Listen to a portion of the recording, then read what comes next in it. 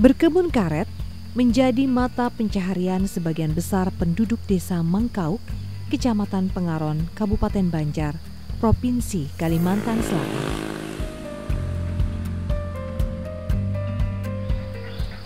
Mengambil upah menyadap karet yang hasilnya harus dibagi dua dengan pemilik kebun. Bila harga sedang baik, hasil yang didapat lebih dari cukup. Namun harga karet sangat mudah berubah dan tergantung musim.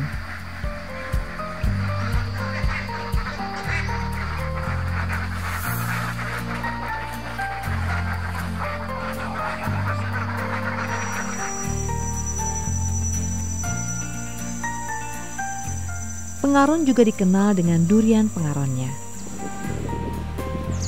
Hasilnya cukup menjanjikan. Namun, tanaman musiman ini harus menunggu satu tahun untuk mendapatkan hasilnya.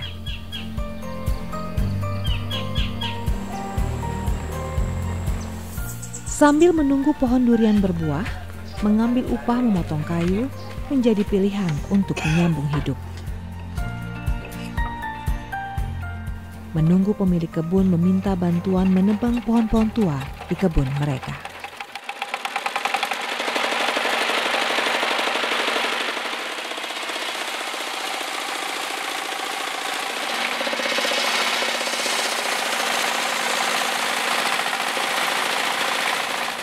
Jumarianto sehari-hari mengambil upah memotong kayu di desanya. Kayu-kayu ini diambil dari perkebunan warga, kemudian diolah untuk dijadikan potongan papan sebagai bahan membuat rumah. Pekerjaan ini tidak setiap hari dilakukan. Terkadang dalam satu minggu tidak ada yang memanggilnya. Dari tahun ke tahun, permintaan membuat papan kayu semakin menurun. Seiring mulai ditinggalkannya kayu sebagai bahan membuat rumah.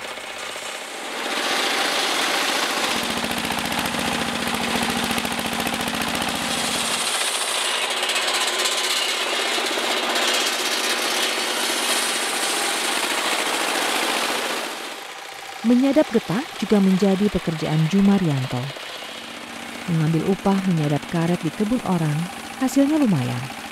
Namun, musim kemarau seperti saat ini, Jumarianto terpaksa tidak menyadap getah karena tidak menghasilkan.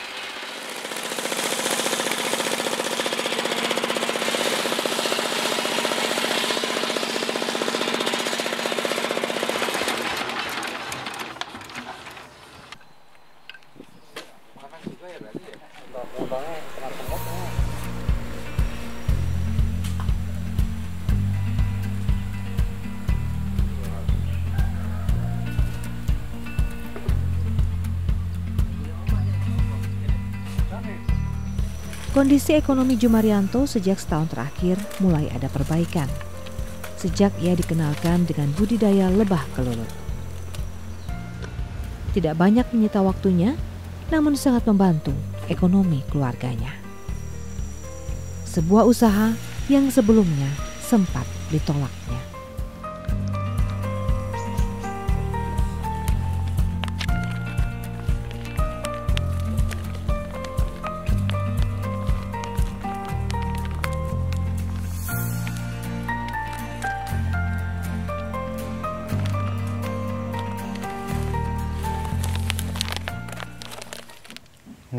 Yakin. Istilahnya nggak yakinnya tuh kayak nggak percaya berkembangnya gimana. Jadi sempat mandek. Terus dua bulan mandek nggak cari. Nggak cari sarangnya itu. Terus sama Mas Aibudin coba aja Mas nanti. Ya, gitu. akhirnya habis dua bulan kerja kan motong kayu ketemu sarang. Terus gimana nih caranya? Sayang, sayang dipotong dibelah langsung coba dibawa pulang terus dikasih caranya lagi sama Mas Saifuddin. Potong-potong-potong kasih kotak. Satu itu dulu. Terus lama kelamaan ada buat madu. Terus nambah lagi nambah lagi.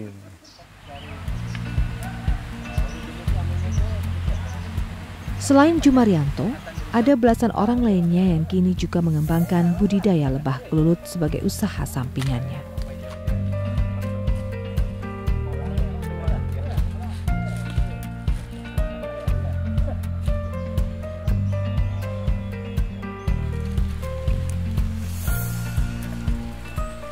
Rata-rata pembudidaya pemula menghasilkan 1 sampai 1,5 juta rupiah per bulannya.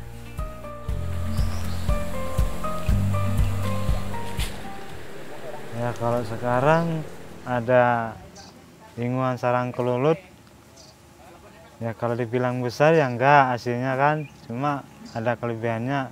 Dulu kan uang nggak lebih sekarang ada lebih bisa belikan anak apa-apa kan. Ya kalau dulu memang satu minggu itu ada terus, cuma kalau sekarang ini aku bilangin banyak yang bikin rumah dari semen atau dari batu. Jadi kemungkinan kerja itu sedikit, ada yang dua hari itu selesai. Kadang kalau di bulan puasa itu satu bulan nggak kerja. Ya, sangat membantu. Bisa membantu.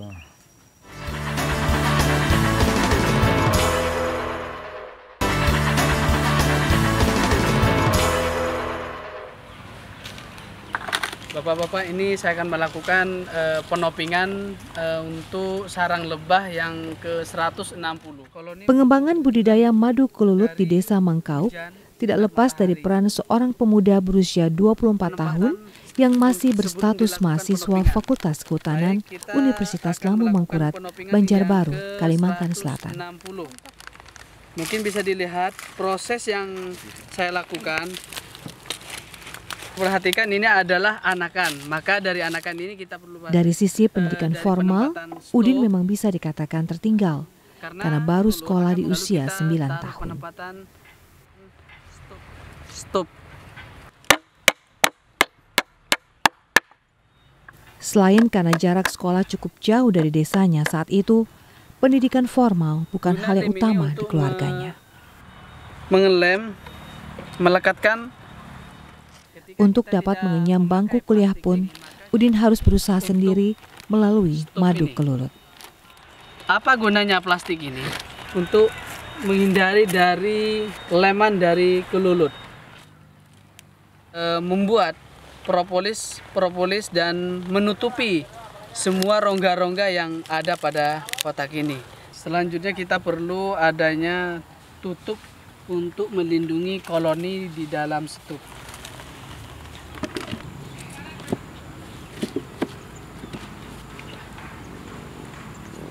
Budidaya lebah kelulut ini saya lakukan ketika di mana saya dihadapkan dengan kondisi perekonomian yang cukup sulit. Di saat-saat sulit saya harus mencari membantu kehidupan saya untuk membiayai kuliah. Kita bisa diangkat.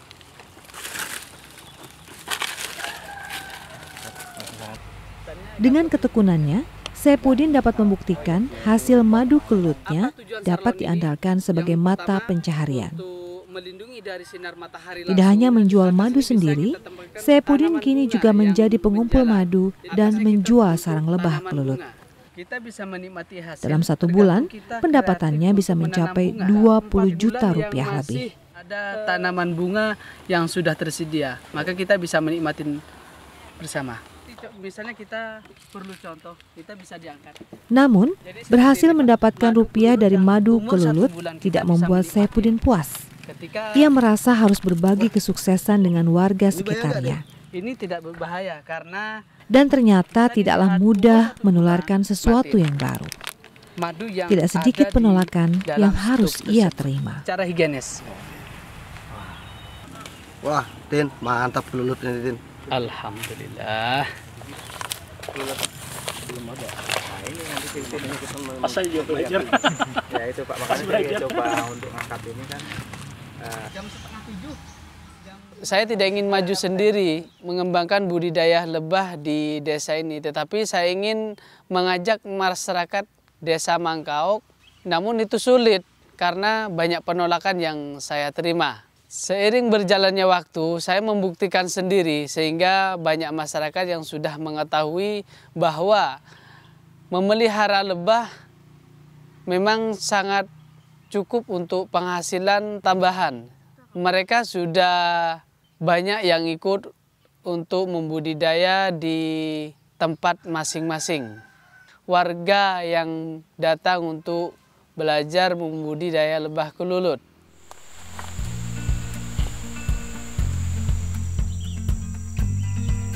Budidaya madu kelulut di mata Saipudin bukan hanya bicara ekonomi, tetapi juga ikut melakukan penghijauan.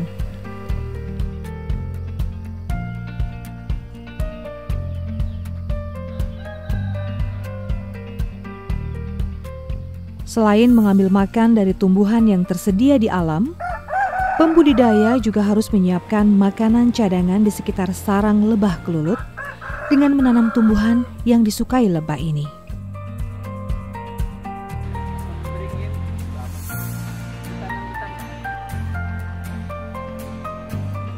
Ada jenis bunga air mata pengantin, bunga biduri, hingga bunga matahari.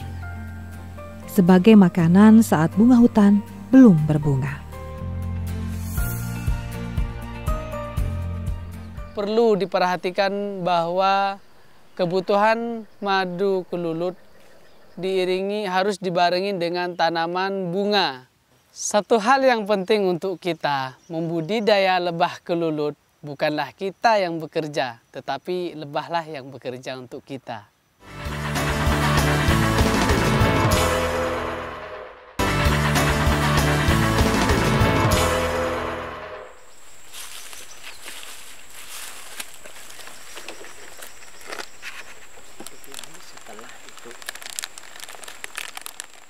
Lebah kelulut yang dikembangkan Udin adalah jenis Trigona itama.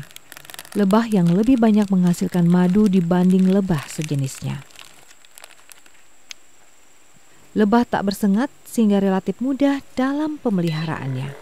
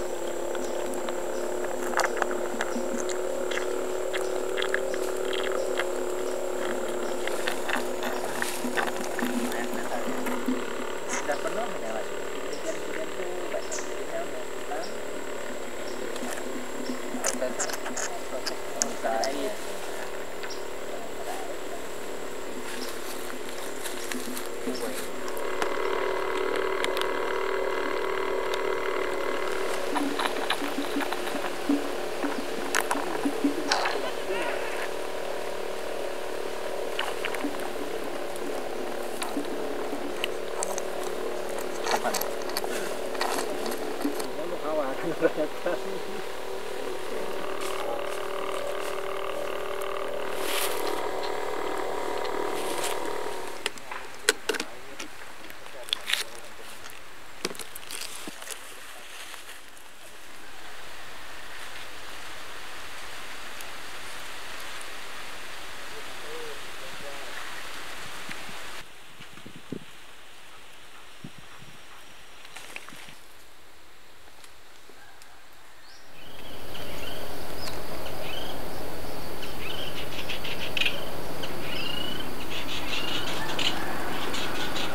Lebah kelulut cocok dibudidayakan di daerah yang sejuk. Seperti halnya daerah Pengaron yang masih merupakan kawasan hutan. Pengaron juga banyak ditumbuhi pohon durian, dinilai menjadi tempat ideal karena bunga durian akan menjadi makanan yang menghasilkan madu dengan rasa lebih nikmat. Lebah kelulut adalah berasal dari bahasa Banjar Bahasa Indonesianya adalah Trigona sp. Lebah kelulut ini kalau dibudidayakan dengan baik maka akan menambah penghasilan ekonomi masyarakat. Daerah ini sangat bagus dikembangkan untuk berbudidaya uh, lebah kelut ini karena daerahnya sejuk, pohon-pohonnya banyak, rambutan, durian, dan tanaman hutan lainnya. Durian ini uh, kalau kita lihat setiap tahun sekali bisa menghasilkan buah. Tapi tidak hanya kita bisa menghasilkan, menghasilkan buah, kita juga bisa menghasilkan madu. Bahkan kalau kita lihat Eh, madu ini lebih menghasilkan daripada buah durian. Tapi kalau madu begitu durian ini berbuah, berkembang yang baik, maka madu akan terserap.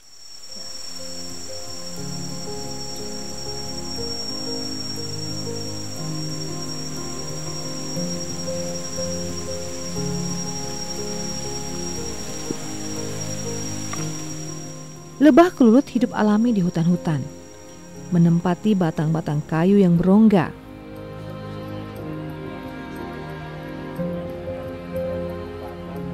Pembudidaya lebah kelulut biasanya mencari sarang-sarang lebah kelulut ke hutan dan memotong pohon yang terdapat sarang kelulut. Aktivitas ini menjadi sorotan karena dinilai merusak lingkungan. Namun, bukan tidak ada solusi karena bisa dikembangkan dengan metode pemecahan koloni.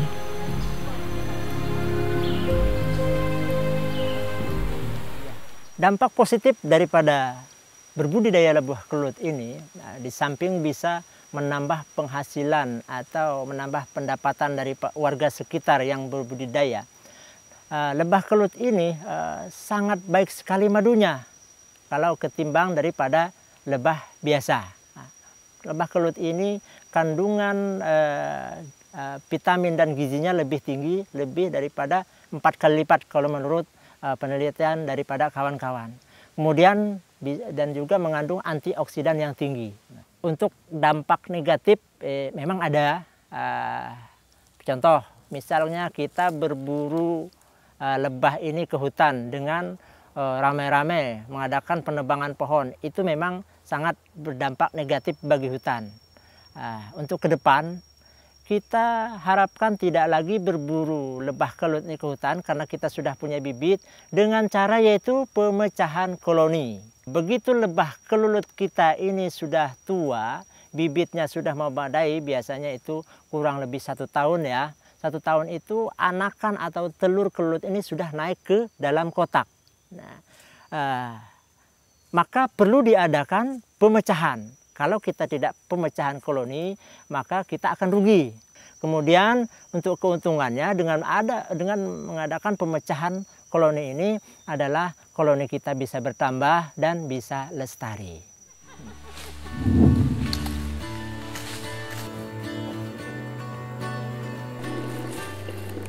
Satu lagi keunikan lebah kelulut adalah rasa madu yang dihasilkannya. Silakan dicoba.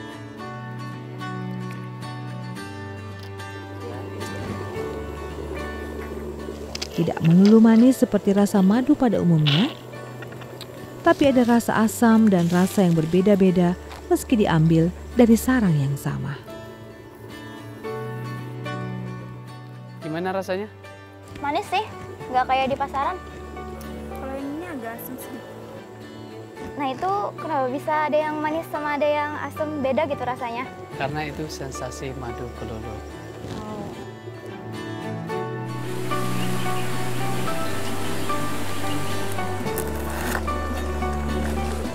Dari sisi rasa, lebah, ke, lebah e, madu kelut ini e, bermacam-macam, tergantung e, musim.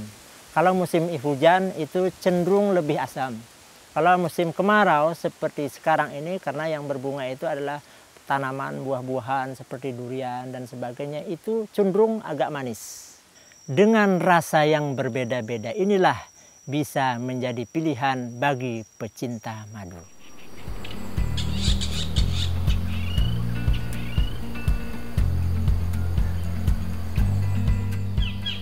Pengaron, satu daerah yang kaya sumber daya alam di Kalimantan Selatan. Ada emas hitam di sini. Namun, pertambangan bukan menjadi bagian dari kehidupan warga setempat.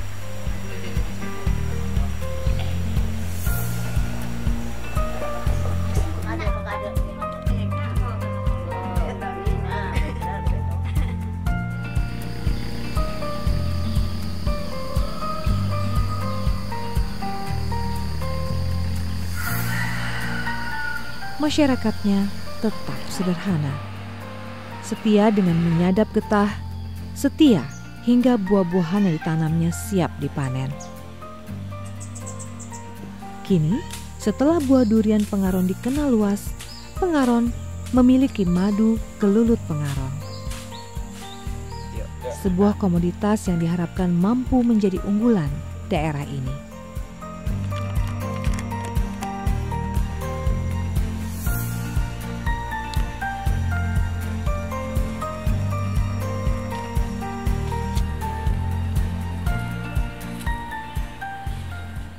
Kami sebagai aparatur desa Mangkauk eh, apa namanya merasa bangga dengan kehadiran Saipudin. Mudah-mudahan ini menjadi motivasi untuk eh, generasi-generasi eh, muda yang lain dan mudah-mudahan madu kelulut ini menjadi produk unggulan untuk Mangkauk pada khususnya dan Pengaron pada umumnya.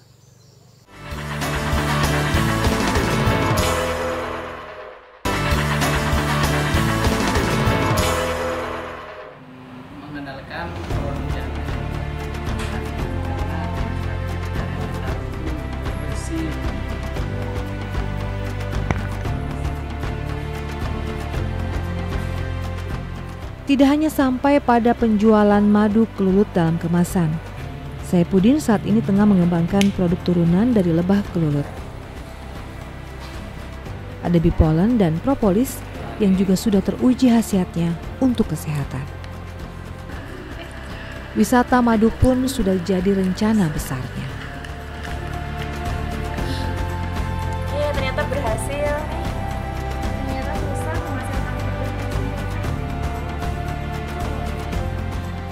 Kini, lebah kelulutlah yang bekerja untuk kita. Meminjam kalimat yang diungkapkan seorang Saipudin. Pemuda sederhana yang bercita-cita ingin memajukan desanya dan tetap menjaga lingkungannya. Budidaya lebah kelulut yang digagasnya menjadi jalan untuk mewujudkan cita-citanya.